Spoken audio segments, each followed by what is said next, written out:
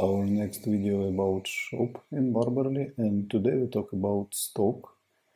So um, stock actually defines how many products you have on uh, your different locations. So it's a product allocation, another name of this uh, functionality.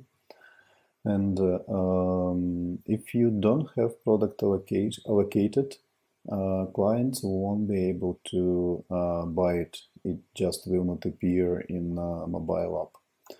Uh, let's see how allocation works. Actually, it's pretty simple. You go to stock, you click add to stock, and uh, you select product.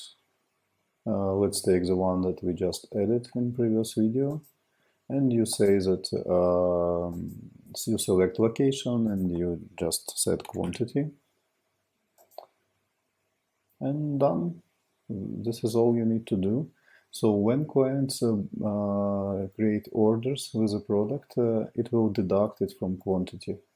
So uh, you just need to watch that quantity is uh, enough here for orders. Uh, another fast way to do allocations is you can go to products and you can click on dots and select allocate and it again will uh, go here and uh, you can allocate some more pieces to same location. Uh, it will just duplicate the lines. So total quantity is 15. Uh, it's just in case if you want to allocate uh, different uh, parties of the same product. but you can also modify existing allocation. You can add items here like add more here.